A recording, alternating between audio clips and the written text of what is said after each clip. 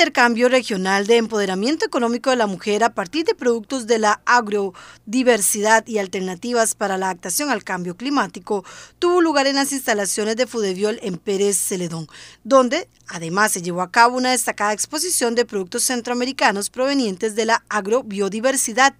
Representantes de varias organizaciones participantes, entre ellas Acopidecha, Agaedru, Amecup, Amacobas, Copeasa, Copice, La Sureñita,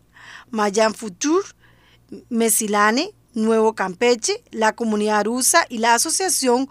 Huizapán, Memoria Histórica de Santo Domingo de Guzmán, presentaron una amplia variedad de productos en la exposición. Los visitantes pudieron encontrar artesanía, productos cosméticos elaborados a base de miel y cacao, derivados de la nuez de Marañón, harinas de tubérculos, especies, café, cacao, cúrcuma, productos orgánicos, miel de abeja, entre otros. Posteriormente se llevó a cabo una productiva discusión y análisis de diferentes temas.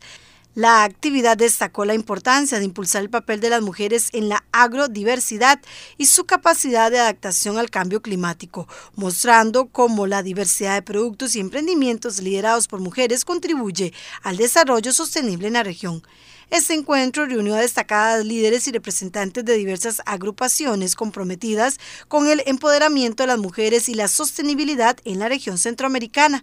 El intercambio regional de empoderamiento económico de la mujer es parte del programa de agrobiodiversidad indígena y campesina en Centroamérica y cuenta con el apoyo financiero del Ministerio de Cooperación Alemana a través del Banco KfW, siendo implementado por ASICAFOC.